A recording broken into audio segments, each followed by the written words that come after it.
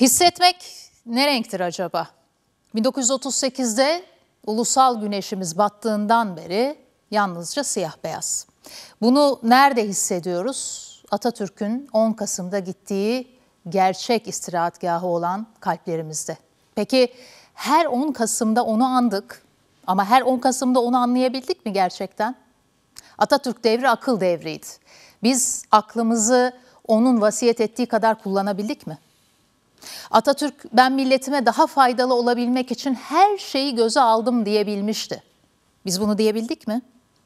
Önce memleketi yok olmaktan kurtardı, sonra da yeniden kurmayı başardı. Önce savaşı, sonra barışı kazandı. Tüm bunları yaparken de bize bir şey öğretti. Bütün imkanlarından mahrum edilmiş bir millet küllerinden doğabilir.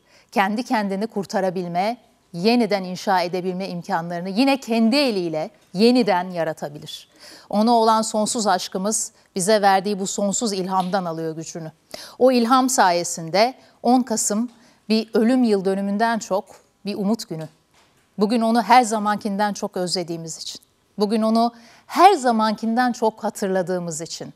Bugün onu her zamankinden çok anladığımız için. Bu ulusu onsuzluğa değil, onu sonsuzluğa taşımaya her zamankinden daha kararlı olduğumuz için. Bir fani ancak unutulduğunda ölür. İşte bu yüzden o ölmedi.